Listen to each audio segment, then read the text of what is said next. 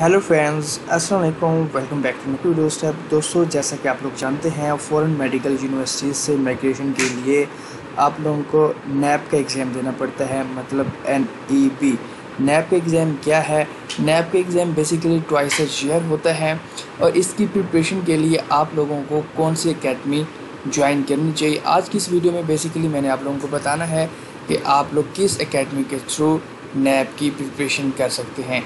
दोस्तों नैप basically twice year होता है और 70 परसेंट पासिंग क्राइटेरिया है और it's very hard task to achieve it क्योंकि वैसे अगर 50 परसेंट इसका पासिंग क्राइटेरिया होता तो काफ़ी स्टूडेंट्स इसको पास कर लेते।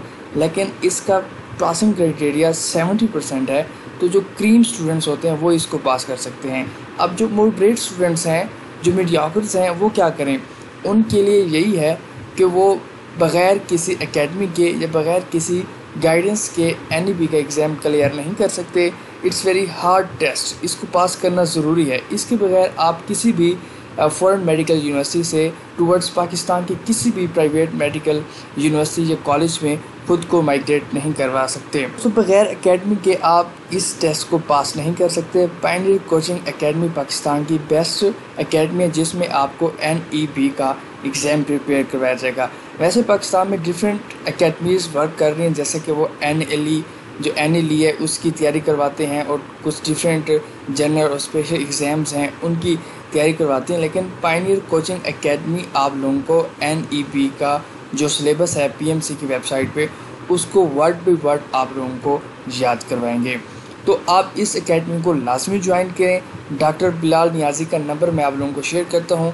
आप उनसे कांटेक्ट करें और ख़ुद को रजिस्टर करवाएँ।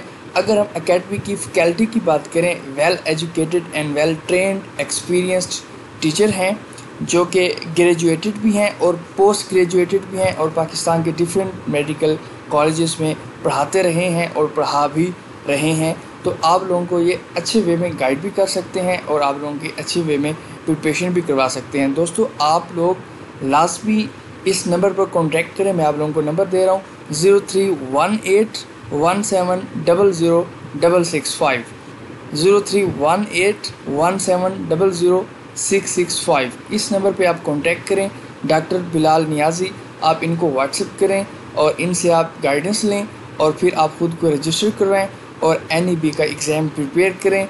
इस एग्ज़ाम के बगैर आप माइग्रेट नहीं करवा सकते।